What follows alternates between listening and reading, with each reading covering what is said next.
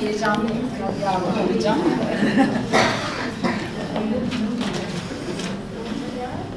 gün birden şey olunca Sayın misafirlerimiz, sayın misafirler, e, hepinize hoş geldiniz diyorum öncelikle. Hayırlı Ramazanlar.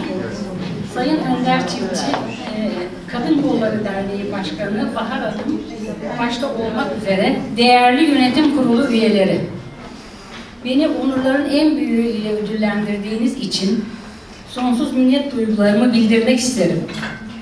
Ben Süreyya Aydın, emekliyim. İki evlat annesiyim.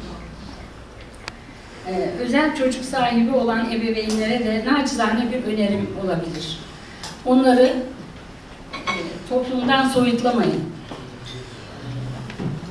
Sosyal yaşamın içinde tutun ki onlar da sizde inanın ki daha mutlu oluyorsunuz. Çünkü benim evlatlarımdan bir tanesi e, özel bir çocuk. Özel, ben özel çocukların baş tacı eden tüm anneleri sevgiyle kucaklıyor ve anne olsun olmasın annelik duygusu yaşayıp yaşatan kadınlarımızın yüreklerine sağlık diliyorum.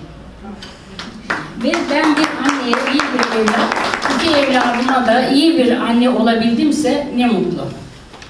Bu arada e, hep benimle olan değerli eşim Adnan Aydın'a, e, bizi hep yanımızda olan sevgili ailelerimize de sizin huzurunuzda teşekkür etmek isterim. Hepinize sevgiyle esenlikler dilerim.